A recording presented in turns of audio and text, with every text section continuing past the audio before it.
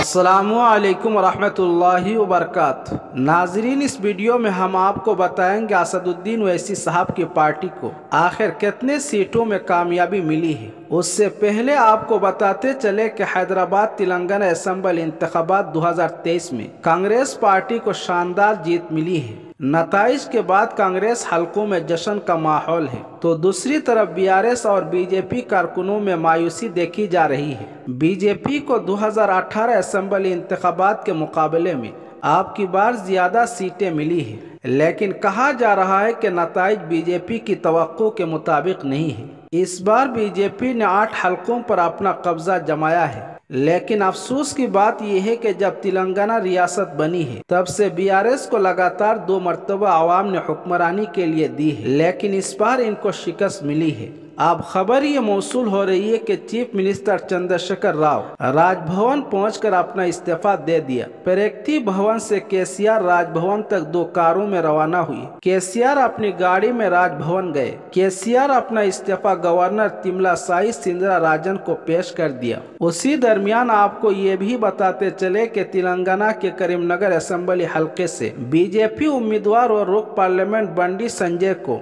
मामूली वोटों की अक्सरियत से शिकस्त हुई है। ये उम्मीदवार मुसलमानों के खिलाफ जहरीली जबान इस्तेमाल किया करता था?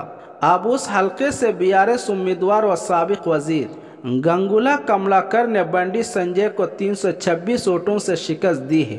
बताया जाता है कि करीमनगर शहर के मुसलमानों ने कामयाब हमत अमली अख्तियार करते हुए कांग्रेस के बजाय लम्हा आखिर में बी आर एस पार्टी के हक में वोट दिया है। ताकि फ़िरका परस्ती को करीमनगर शहर से ख़त्म किया जा सके। अब आखिर में आपको बताते चले कि असदुद्दीन वैसी साहब की पार्टी मजलिस इतिहादुलमुस्लिमीन नौ सीटों पर इलेक्शन लड़ा है, जिनमें से सात सीटों पर कामयाबी मिली है, जिस पर मजलिस के लोग जश्न मना रहे हैं। नाजरीन, इस वीडियो के ताल्लुक से आपकी क्या राय ज़रूर कमेंट में शेयर करें। शुक्रिया वसलाम